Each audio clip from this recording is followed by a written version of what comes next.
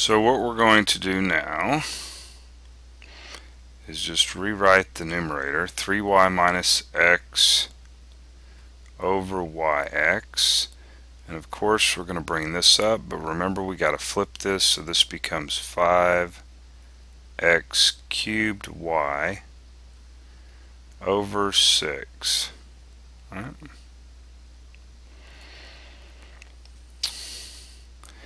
So now we got to ask the question, what's going to be canceling out? Well, we have a y in the denominator, we have a y up here in the numerator, an x, and three x's. So we're going to, let's see. Okay, so x, so we're going to be left with two x's and a 5 up here. So I'm going to rewrite this as 5, start a parentheses, 3y minus x, um, y cancels out. And I ended up not writing let's see there's going to be two x's and I didn't write that right there. Uh, we'll write it right here. Over. And what's going to be left in the bottom we have a 6 y canceled out and an x canceled out and that's it. So and we'd normally, if we're going to write a 6 in the bottom, we'd like write it right here in the middle. Okay. Write it in the middle. Okay. Man, we are moving along. Before you know it, we'll be into college algebra, and then you'll be learning trigonometry, and then we'll move to calculus, and then you'll learn differential equations. Linear algebra, discrete mathematics, maybe advanced cal, abstract algebra, and you know what? You'll be a math major.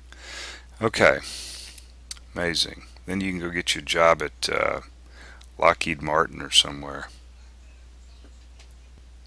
Or maybe Raytheon or something like that.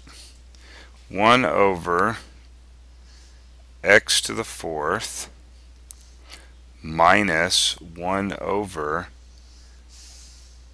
y to the fourth. And that's going to be all over 1 over x squared. And if I get a chance I'll be doing some chemistry and physics. Pretty much everything I learned in college. 1 over y squared and uh, if I even get more time, we'll learn Java and JavaScript and some programming languages. Yay! Okay, let's look at the numerator up here. Uh, let's take care of that first. Okay? And I don't know, I'll write it over here. What the heck? Um, we got to get a common denominator. So I'm going to write y to the fourth over y to the fourth times 1 over x to the fourth minus 1 over y to the fourth.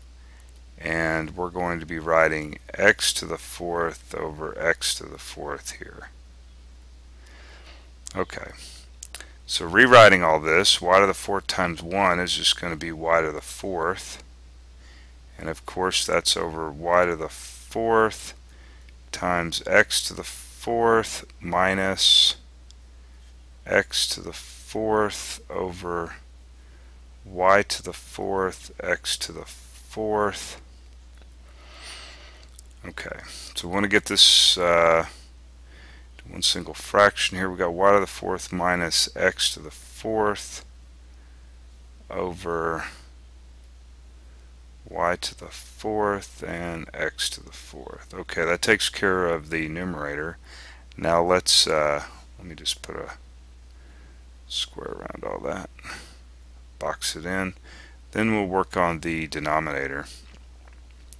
So this is going to end up being y squared over y squared times 1 over x squared plus 1 over y squared times